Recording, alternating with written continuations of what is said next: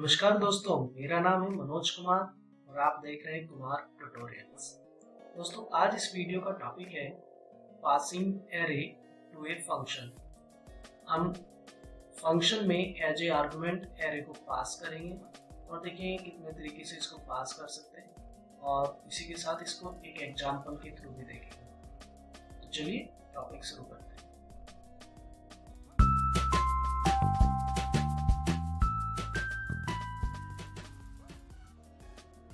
तो ये है आज का topic passing array to a function दोस्तों, किसी भी फ़ंक्शन में एज ए आर्गुमेंट हम एरे को पास कर सकते हैं, लेकिन इसके दो तरीके हैं। पहला passing array elements to a function आप एरे के एलिमेंट्स को वन बाय वन किसी फ़ंक्शन में पास कर सकते हैं। दूसरा है passing entire array to a function आप कंप्लीट जो एरे है, उसी को एज ए आर्गुमेंट पास करें फ़ंक्शन में। तो दो तरीके हैं दोस्तों। एक में हम एलिमेंट पास कर रहे हैं और दूसरे में हम कंप्लीट एरे को पास कर रहे हैं। देखिए, इसमें भी वेरिएशंस है। जब आप एरे एलिमेंट को पास करते हैं किसी फ़ंक्शन को तो उन्हें as a call by value pass कर सकते हैं या कॉल बाय रेफरेंस पास कर सकते हैं। तो यहाँ पर इस वीडियो में तीन पॉइंट है। जब आप एरे एलिमेंट को पास करते हैं किसी फ़ंक्शन को तो एज ए वैल्यू पास कर रहे हैं एज ए रेफरेंस पास कर रहे हैं, और एंटायर एरे को पास कर रहे हैं आप किसी फ़ंक्शन में। तो यही तीनों पॉइंट मैं इस वीडियो में आपको बताने वाला हूँ। चलिए शुरू करते हैं। पहला पॉइंट है passing array elements to a function by value दोस्तों, इस कॉन्सेप्ट को एक एग्जांपल के थ्रू समझते हैं। तो इसके लिए सबसे पहले हमने हेडर फ़ाइल लिखी S T D I dot H फिर कोनियो हेडर फ़ाइल और फिर आपने एक फ़ंक्शन डिक्लेयर किया जिसका रिटर्न टाइप है वॉइड फ़ंक्शन का नाम है डिस्प्ले और आप इसमें एक आर्गुमेंट पास करेंगे जो कि इंटीजर टाइप है, और वो argument as a value pass करेंगे। उसके बाद हमने मेन फ़ंक्शन लिखा। उसके अंदर आपने लिस्ट नाम से एक एरे बनाया एरे को डिक्लेयर किया और इनिशियलाइज किया।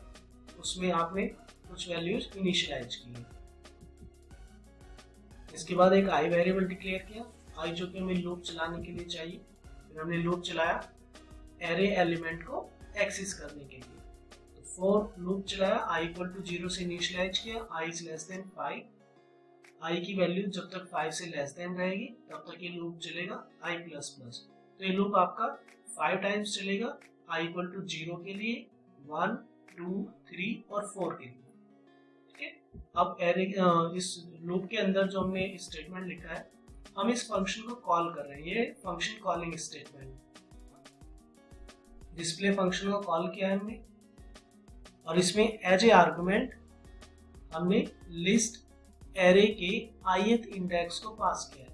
तो जब i की वैल्यू ज़ीरो है तो लिस्ट एरे के ज़ीरो इंडेक्स पे वैल्यू जैसे कि आप देख सकते हैं कि टेन वैल्यू आएगी। यहाँ पे हमने टेन वैल्यू पास हो गई। ठीक है? जब भी आप किसी फ़ंक्शन को कॉल करते हैं तो कंपाइलर उस फ़ंक्शन को डेफिनेशन को एग्जीक्यूट करता है। तो सबसे पहले मेन फ़ंक्शन लिख देते हैं। मेन फ़ंक्शन यहाँ पर क्लोज हो गया है। उसके बाद डिस्प्ले फ़ंक्शन की डेफिनेशन लिखते हैं। तो वॉइड डिस्प्ले इंटीजर ए तो जो फ़ंक्शन कॉलिंग में वहाँ से जो एलिमेंट आ रहा है टेन उसको हमने ए वेरिएबल पर स्टोर किया और यहाँ पर हम उसको प्रिंट कराएँगे अब using print F statement slash N new line के लिए परसेंटाइल बी की जगह, क्योंकि हमने ये इंटीजर वेरिएबल है आपका तो परसेंटाइल बी लिखा है।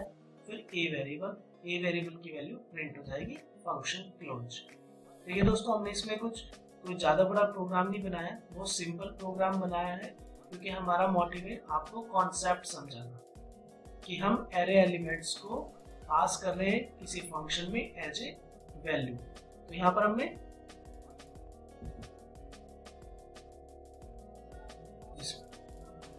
फ़ंक्शन डिक्लेरेशन हुआ, ये एरे डिक्लेरेशन विद इनिशियलाइजेशन उसके बाद ये हो गया फ़ंक्शन कॉलिंग यहाँ पर ये लूप आपका zero one two three four के लिए चलेगा।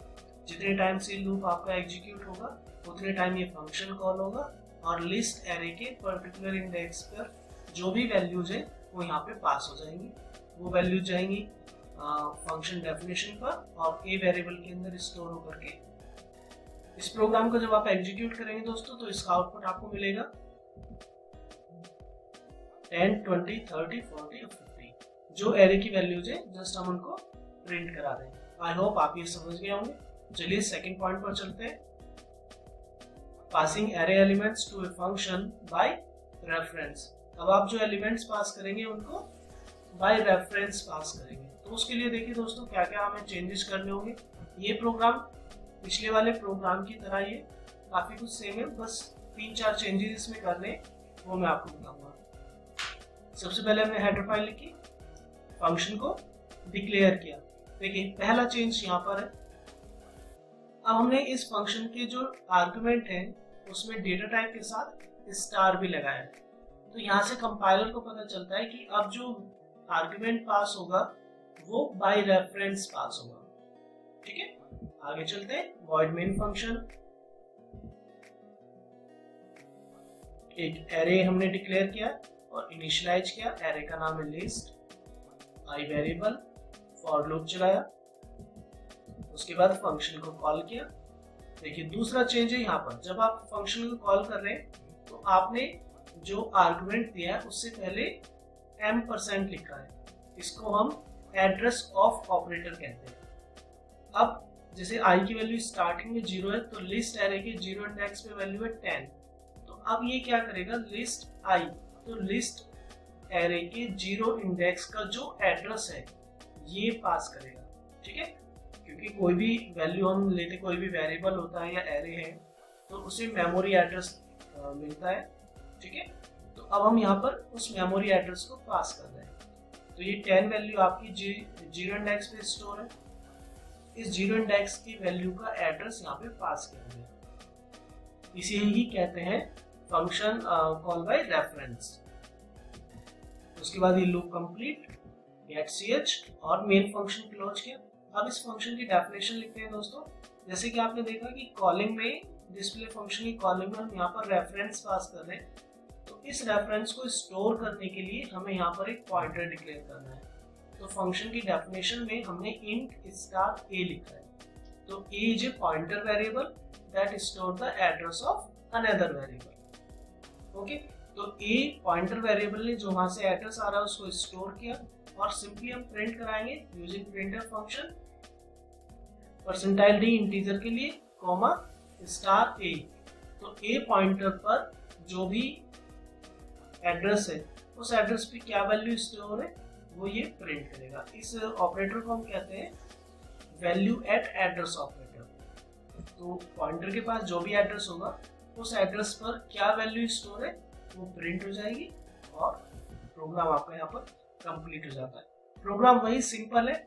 हमने एक एरे कि एलिमेंट्स को पास किया है, लेकिन इस बार बाय रेफरेंस पास किया है। उसे फ़ंक्शन की डेफिनेशन में एक पॉइंटर के थ्रू उस एड्रेस को स्टोर कराया है और उसके ही के थ्रू हमने वैल्यूज़ को प्रिंट कराया है। ठीक है? जब आप इस प्रोग्राम को एग्जीक्यूट करेंगे तो आपको अच्छा यहाँ पर मैं बता देता हूँ कि क्या क्या चेंजेस हुए थे पिछले प्रोग्राम में। के मुकाबले, पहला चेंज था यहाँ पर, जब आपने फ़ंक्शन को डिक्लेयर किया था, दूसरा चेंज था जब आपने फ़ंक्शन को कॉल किया था तो उससे पहले एड्रेस ऑफ़ ऑपरेटर लिखा है। तीसरा चेंज है, जब आप फ़ंक्शन की डेफिनेशन लिखते हैं तो उससे पहले यहाँ पर आपने एक पॉइंटर डिक्लेयर किया है। और लास्ट चेंज है, जब आप प्रिंट में प्रिंट करा रहे हैं तो यहाँ पर आपने एक पॉइंटर लिखा तो आपने वैल्यू एट एड्रेस ऑपरेटर का यूज़ किया है। पॉइंटर से वैल्यू प्रिंट कराने के लिए। तो ये चार चेंजेस किए थे हमने, ठीक है? अब इस प्रोग्राम को जब आप एग्जीक्यूट करेंगे तो आपको आउटपुट मिलेगा ten, twenty, thirty, forty, fifty. Output same है, क्योंकि हम इन्हीं वैल्यूज़ को प्रिंट करा रहे हैं। पहले हमने बाई वैल्यू प्रिंट करा था, अब बाई रेफरेंस। लेकिन वो दोनों ही चेंजेस जो है, वो प्रोग्राम में होते हैं, क्योंकि फ़ंक्शन में आप as a argument by value pass कर रहे हैं या बाई रेफरेंस पास कर रहे हैं। लेकिन आउटपुट आपका सेम अब चलते हैं अपने थर्ड पॉइंट की तरफ़। जहाँ पर आप passing entire array to a function आप पूरे कंप्लीट एरे को ही एज ए आर्गुमेंट फ़ंक्शन में पास करना है, ठीक है? तो इसके लिए देखिए क्या क्या चेंजेस होते हैं। सबसे पहले हेडर फ़ाइल लिखी फिर डिस्प्ले फ़ंक्शन कॉल किया। अब हम यहाँ पर रेफरेंस भी पास करेंगे और ये भी बताएँगे कि उस एरे का साइज़ क्या है। तो इसलिए इस फ़ंक्शन की जो डिक्लेरेशन है डिस्प्ले फ़ंक्शन का, उसमें हमने रेफरेंस के साथ एक और आर्गुमेंट दिया है इंटीजर टाइप जिसमें हम size of the array pass करेंगे। मेन फ़ंक्शन इंट लिस्ट आपने लिस्ट एरे डिक्लेयर किया और उसमें वैल्यूज़ इनिशियलाइज की। अब डिस्प्ले फ़ंक्शन में आपने लिखा address of operator list zero क्योंकि आप ये जो लिस्ट एरे है, इसके ज़ीरो इंडेक्स का जो एड्रेस है, जिसे हम बेस एड्रेस भी कहते हैं, ठीक है? तो इस एरे का जो इनिशियल जो बेस एड्रेस है, उसे हमने पास कर दिया लिस्ट के ज़ीरो इंडेक्स पे जो एड्रेस है, ठीक है?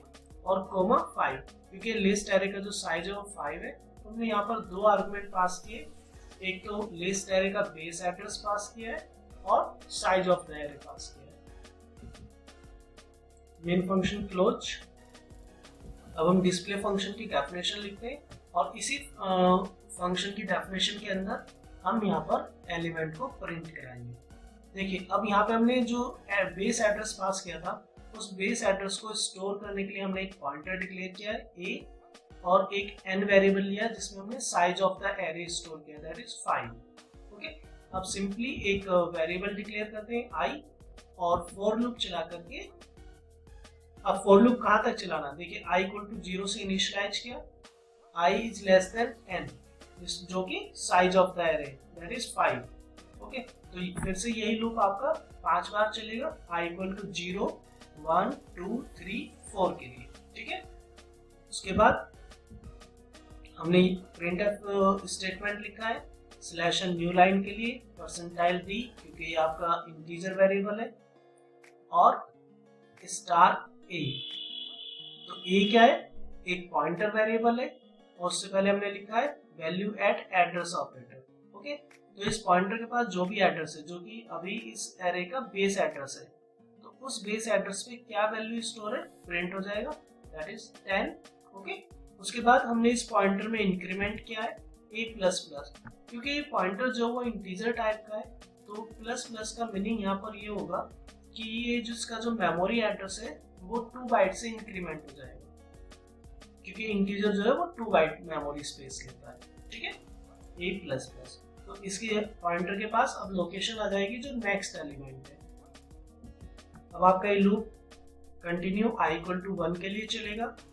तो सिमिलरली अब एरे अब इस ए पॉइंटर के पास जो नेक्स्ट लोकेशन है उस पर क्या वैल्यू स्टोर है, वो प्रिंट हो जाएगी, फिर से ए की वैल्यू को इंक्रीमेंट किया हमने। एक जो पॉइंटर है आपका, उसमें जो एड्रेस है, उसको इंक्रीमेंट किया है। इसी तरह से आपका लूप चलेगा पाँच बार, और ये एलिमेंट आपके प्रिंट हो जाएँगे। डिस्प्ले फ़ंक्शन क्लोज तो ये है आपका passing entire array to the function यहाँ पर हमने देखिए the name of the array is a constant pointer itself that has base address जो एरे का नाम होता है, वो अपने आप में एक कांस्टेंट पॉइंटर है, जिसके पास क्या होता है? उस एरे का बेस एड्रेस ठीक है? तो ये जो हमने यहाँ पर लिखा है डिस्प्ले फ़ंक्शन को, जो हमने कॉल किया है तो हमने यहाँ पर लिखा है address of list zero index comma five तो address of list zero index की जगह अगर आप सिंपली एरे का नाम लिखते हैं एरे का नाम क्या हमारा? लिस्ट अगर आप सिंपली एरे का नेम भी लिखते हैं तो वो भी सफिशियंट है, उसमें कोई एरर नहीं आएगी, क्योंकि जो एरे का नाम है, वो अपने आप में कांस्टेंट पॉइंटर का काम करता है, जिसके पास बेस एड्रेस होता है। ठीक है? उसके बाद अब आप इस प्रोग्राम को जब एग्जीक्यूट करेंगे तो आपको इसका आउटपुट मिलेगा। Ten twenty thirty forty fifty वही वैल्यूज़ आपकी प्रिंट हो जाएँगी। तो ये तो दोस्तों आज का topic passing array to a function मैंने इसके तीनों कॉन्सेप्ट को बता दिया है। उम्मीद करता हूँ कि आपको ये वीडियो अच्छी लगी। लाइक कीजिए शेयर कीजिए दोस्तों के साथ। और अगर अभी तक आपने सब्सक्राइब नहीं किया मेरे चैनल को तो जल्दी से सब्सक्राइब कर दीजिए। और बने रहिए मेरे चैनल के साथ। Thank you so much for watching this video